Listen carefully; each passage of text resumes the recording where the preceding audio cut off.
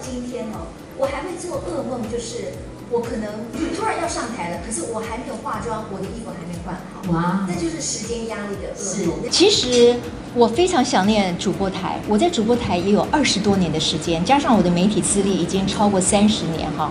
那我不是不愿意回主播台。但但是现在的媒体环境是不一样的。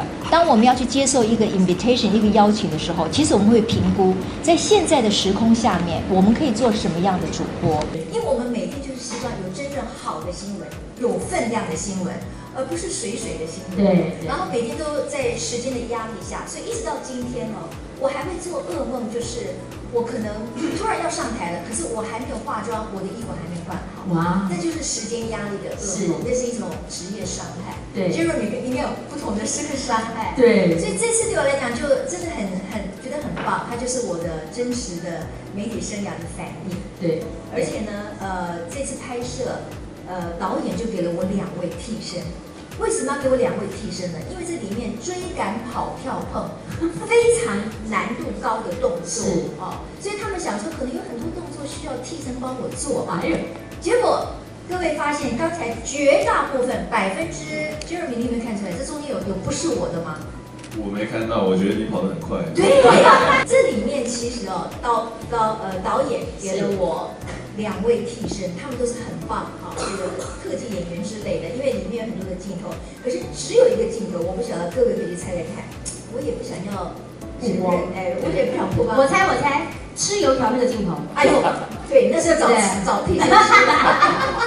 因为全部男的镜头，我都看出几乎就是非常一气呵成完成的嘛。我我我相信我有让这个导演很惊艳哈，就是因为他发现这个沈姐呢很不服输，所以我所有的。跑，尤其是跑下楼梯，在很危险，因为我穿的是一个老爹的高跟鞋，那你要跑得很快，又要下楼梯，我很容易滚下楼梯啊，所以那个是我最担心的一个动作。我很高兴今天这个延长版也把它剪出来。是，还有呢，就是我从那个巷子里面狂奔，还有一个叫把冲破那个纸盒，那个都不是替身冲破的啊。其实。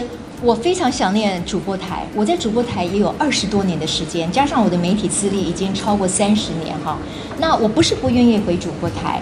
但但是现在的媒体环境是不一样的。当我们要去接受一个 invitation 一个邀请的时候，其实我们会评估在现在的时空下面，我们可以做什么样的主播。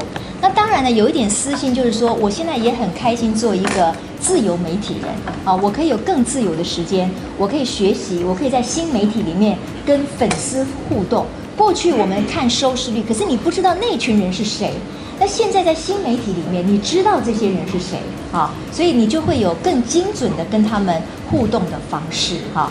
那 OK，所以希望大家来邀请我吧，也许我们就会有很棒的火花也说不定哈。我的邀约倒不是回电视台去当主播哈，呃，那为什么会这样子？我觉得跟我同一辈的主播可能会有相同的情况，就是因为媒体生态很不一样。那现在因为媒媒体的平台太多了啊，那所以是不是一个资深的主播的 value 会被看见？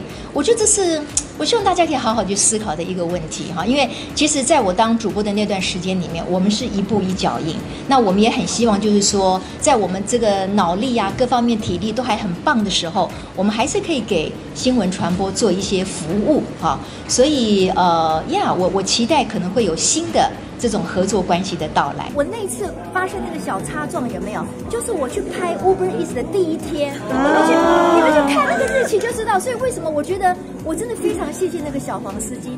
如果不是他那么大度，而且非常从容，哈，就是把把小事化无，可能大事化小，小事化无。我那整天的工作，我就会受到影响了。所以那个小黄司机非常谢谢你。我不晓得你知不知道我，我因为这个，所以我顺利的去拍了我的这次动作片的广告。对对对，很谢谢你，谢谢大家，谢谢。